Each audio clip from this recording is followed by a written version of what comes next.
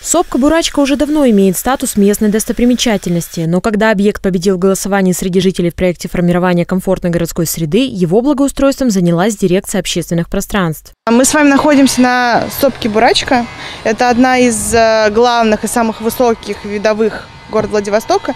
Ее видно практически э, со всего центра.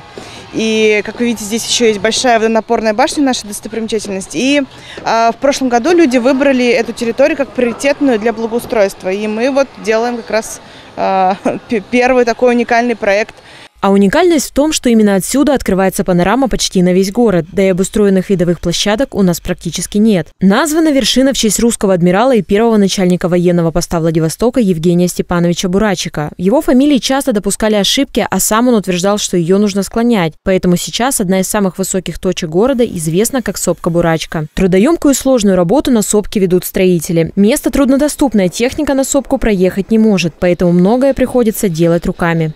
Это и уникальный проект с точки зрения работ, потому что все работы, так как это крутой подъем, все работы делаются вручную. То есть вручную и бурится свая, и все, ну, как бы вся работа на плечах рабочих.